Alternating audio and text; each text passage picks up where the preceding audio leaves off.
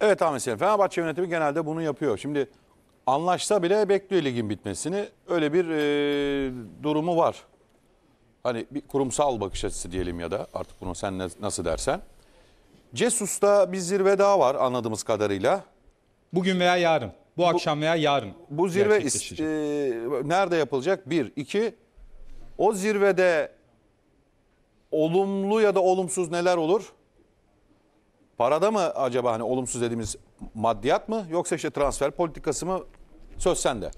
Aykut İnce bugün veya yarın gerçekleşecek bu zirve ve online bir şekilde gerçekleşecek ama bu zirve e, çok belirleyici bir zirve. Yani e, ben bunu kaynaklarıma sorduğumda e, çok bu işin olup olmayacağını belirleyecek zirve bugün e, bu iki gün içerisinde gerçekleşecek zirve olacak. E, şunu sorduğumda devamında Cesus'un bakış açısı ne bu iş hani pozitif bir havaya dönmüştü olacak mı diye sorduğumda bana şu e, bilgiyi şu ifadeyi kullandılar.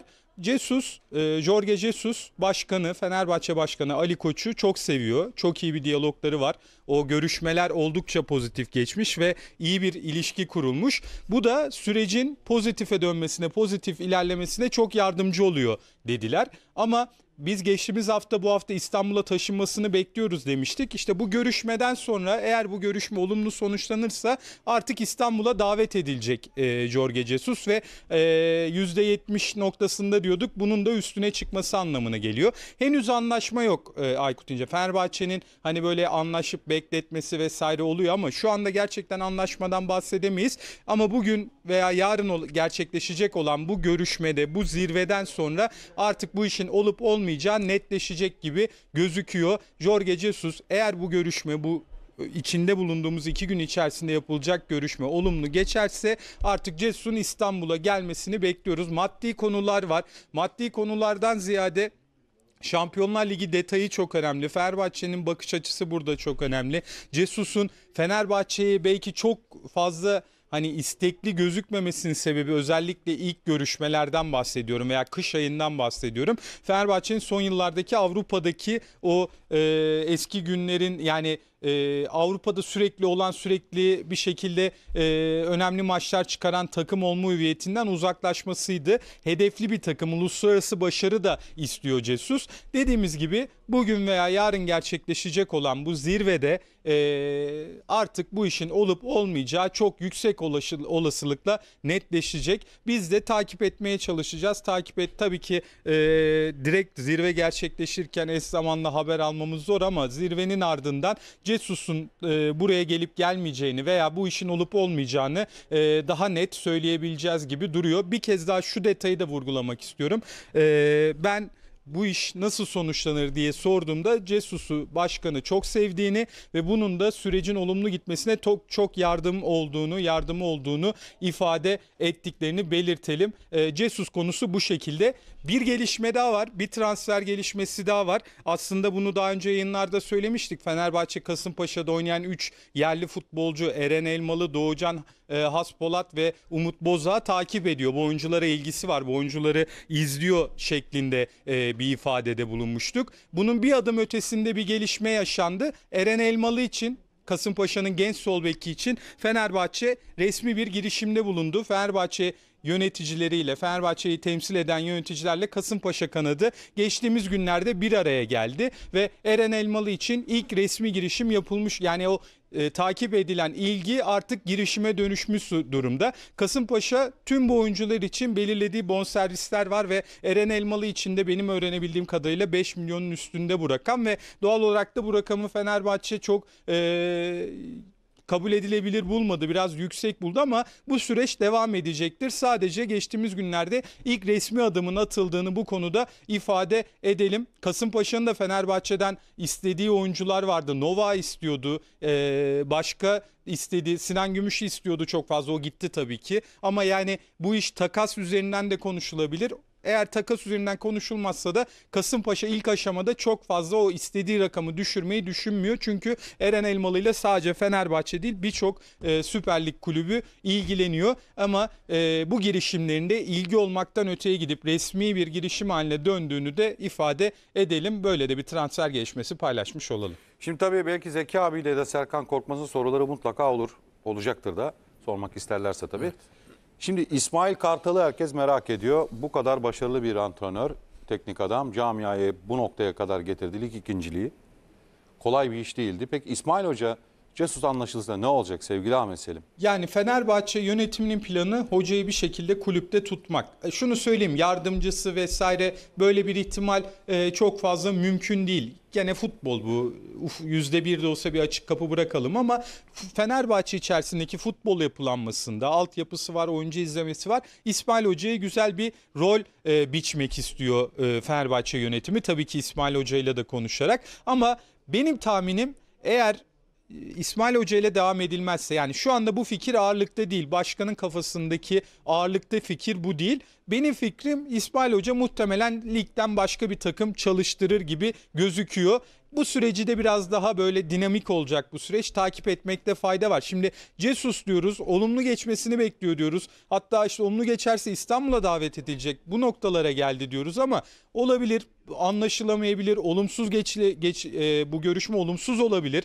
E, olumsuz olursa da doğal olarak farklı e, fikirlere yönelecek Fenerbahçe. Başka isimlere yönelecek ama e, her şey olabilir noktasında İsmail Hoca'nın kafasında da e, böyle bir düşünce var. E, sezon sonunu beklemekte fayda var ama eğer Cesus'la veya başka bir yabancıyla anlaşılırsa ben İsmail Hoca'nın başka bir takım çalıştıracağını düşünüyorum. Bu ihtimal bence daha çok. Ha diyorsun ki bir yabancı daha olabilir. Yabancı antrenör. Şimdi Yani oraya bir virgül koydun. Şimdi Löw defteri kapanmadı artık oradan çok olumlu haber beklemiyoruz ama tekrar oraya bir girişim olabilir. Başka isimler ufak tefek temasların olduğu isimler duyduk. Jardim gibi, Mancini gibi ama böyle çok resmi, çok ciddi girişimler değildi bunlar.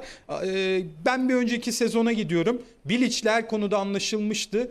Bilic'le olmayınca transfer döneminin en başında Haziran ayında sadece bir gündeme gelen çok ufak bir temas olan Vitor Pereira'ya dönülmüştü.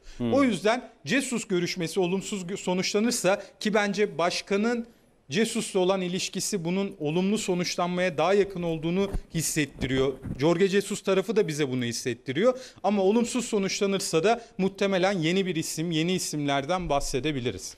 Bilmiyorum, Zeki abinin var Benim mı var, sorusu? sorum var. Evet sorular geliyor. Ee, yani Jesus'la bugüne kadar belki e, 5-6 kez başkanın görüştü değil mi? Sen de ifade Zeki ediyorsun. abi Ocak ayından Evet, başlarsak doğru. 5-6'yı bile Doğru. geçmiş olabilir abi. Doğru. Ocak ayında başladı. Yani bu görüşmelerde mutlaka takımla ilgili fikir alışverişinde de bulunuyordur. Fenerbahçe sunum yapmıştır, beklentilerini söylemiştir. Hani işin parasal boyutu değil belli ki bu. Yoksa aşılırdı bugüne kadar. Hani e, Tabii. bir teknik direktör o yola baş koyduysa Ali Koç ya da büyüklerin kulüp başkanları onu çözerler. Evet, Ee, evet. Mesela Mesut Özil gibi oyuncular Fenerbahçe'deki hani e, kadroyla ilgili acaba neler düşünecek? Buradaki en büyük Fenerbahçe'yi yoran Mesut Özil olacaktır herhalde. Çünkü kadro dışı bırakıldı. Hani geri Gönderilmek dönüş, isteniyor. ha, geri dönüşü yok gibi bir cümle kullanmıştı e, Başkan Ali Koç. Öyle bir durumda tabii ki o nasıl bir ayrılık olacak, tazminatını e, alacak mı hak edişlerini onu tabii bilemiyoruz ama e, burada Fenerbahçe'nin avantajı şu- şudur mutlaka o da gelecektir sana. E, Brezilya'dan, Güney Amerika'dan işte e, zamanında e, Benfica'ya getirdiği gibi oyuncuları e, Evet. çok duyulmamış ama potansiyelli oyuncuları Fenerbahçe'ye getirmek. Yani Fenerbahçe yarışırken e, para kazanacak bir teknik direktörü getirmek istiyor belli ki. Hani Jesus'un o özelliği var çünkü. Talişka örneği. Bahiyya'dan getirmişti çok cüzi bir miktara. Sonra Beşiktaş e, kiralandı. Evet. Sonra da Çin'e 25 ya da 29 milyon euroya satmışlardı. Yani bunlarla ilgili duyum var mı? Ya da e, Löw defteri tamamen kapandı mı? E, son dakika sürprizi yaşanırsa e, Jorge Jesus'la C planı bu sefer A, B, C oluyor herhalde. Üçüncü plan başkanın cebinde var mı? Şöyle anlatayım Zeki abi. Ee, öncelikle o transfer konusunu anlatayım. Bence güzel de bir noktaya e, değindim bu, nok- bu noktada. Ee, şöyle ifade edelim. Ee, şöyle ifade edelim. Ee, Cesus'la ilgili çok fazla para çok istiyor. İşte para konusu çok büyük çıkmaz. İşte çok maliyetli, çok yüksek transfer bütçeleri istiyor gibi haberler çıktı. Başkanın Cesus'u fazla istemesi yani Löv'le görüşürken de başkan iki adayla orta no- ikisine de eşit mesafeden deyken de e, şöyle bir durum olmuştu. Cesus fikri daha ağırlıklıydı. Çünkü Cesus birçok açıdan daha mantıklı geliyordu. Bir noktada Fenerbahçe'nin mevcut kadrosu o Benfica'nın o Benfica'daki şaşalı yıllardaki kadroyu andırıyor. Birçok genç yetenek var, parlatılıp satılabilecek oyuncular var. Bu da Cesus'u mutlu ediyor. Cesus'un ekibini de bu durum mutlu ediyor. Bunu ifade edelim. Ee, yani Fenerbahçe kadrosu onları heyecanlandırıyor. Bu anlamda muhakkak Brezilya pazarındaki etkinliğini de kullanacaktır. Orada da artık hani ee, çok fazla hakimiyeti var ki zaten Fenerbahçe sürecinin biraz ikinci planda kalması uzamasının sebebi de Brezilya'daki günlerdi. Ama tabii ki isimler üzerinden daha çok fazla konuşma yapılmıyor ama bu, bu konular oldukça e, aslında ortak noktada buluşulan konular. Onu söyleyeyim transfer anlamında. Yani Löw defteri de kapanmadı Zeki abi ama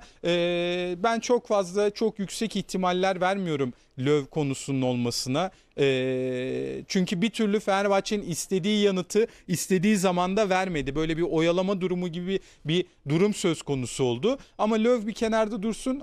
Eğer Cesus'tan olumsuz bir şey gelirse bence yeni isimler duyacağız. E, daha önce çok da fazla şu anda isim sarf etmek istemiyorum. Çünkü Jesus konusuna biraz fazla odaklandık doğal olarak. Ama daha önce de başka teknik adamlarla temaslar olmuştu ve bunlar da yüksek isimli, yüksek seviyede isimlerdi.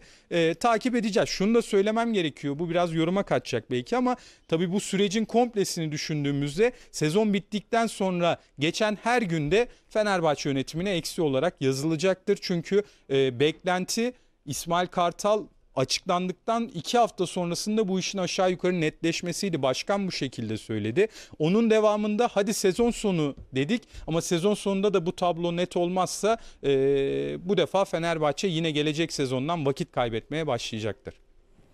Var mı sorunuz başka? Benim var. Ee, yani Fenerbahçe taraftarının teknik direktör kadar merak ettiği bir konu da golcü konusu. Evet. Tabii ki şu anda teknik direktörün e, gelişine e, odaklı herkes. Hani ondan sonra daha çok şekillenir tabii.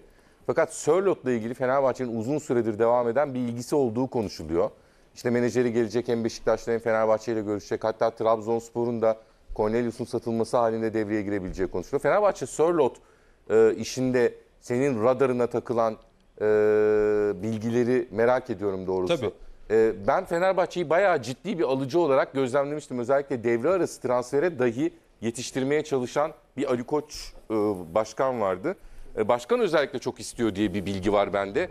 E, sen neler söyleyeceksin Sörlot'la ilgili? Şöyle bilgilerimizin ortak noktaları var Serkan abi. Biraz farklı noktaları olduğu kısımlar da var. Geçtiğimiz sezona gidelim. Başkan Fenerbahçe'nin en çok istediği forvetti Sörlot ve şunu ifade edeyim Başkan Ali Koç birebir görüşüyordu Sörlot'la ve samimiyetleri de oldukça iyiydi. Yani transfer görüşmeleri bizzat bu ikili arasında geçiyordu. Bu sezon ise Fenerbahçe çok aceleci değil. Bir forvet havuzu var ve bu havuzun içinde de evet Sörlot var ama başka isimler de var. Seferovic gibi başka isimler de var.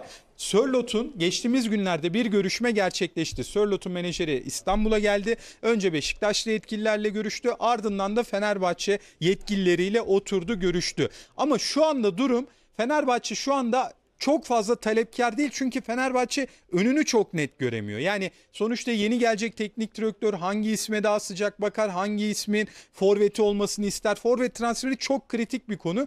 O yüzden Fenerbahçe Sörlot haberi biz bu yıl gene yapacağız gibi gözüküyor ama şu anda biraz daha menajerinin isteğiyle gerçekleşen bir görüşme olmuş. Yani Fenerbahçe henüz tam olarak talepkar taraf değil. Evet listede takip ediliyor. Diğer takımlarla olan transfer görüşmeleri bir şekilde takip ediliyor. Ama Fenerbahçe çok net, çok somut, çok e, biz bizim istediğimiz bir numaralı forvet Sörlot noktasında henüz değil. Bunu da ifade etmem gerekiyor. Çünkü bu biraz da teknik direktör konusuyla alakalı bir durum. Teknik direktör konusu netleştikten sonra eğer o isimde Sörlot'ta hem fikir olursa bence Fenerbahçe bu konuda ciddiyetini arttıracaktır ve konuşulan rakamlar beklenen talep edilen rakamları düşündüğümüzde Fenerbahçe'nin ihtimalini ben biraz daha e, ciddi görüyorum ama dediğim gibi şu anda beklemekte fayda var çünkü Fenerbahçe henüz net önceliğini santrafor konusunda net önceliğini belirlemiş durumda değil.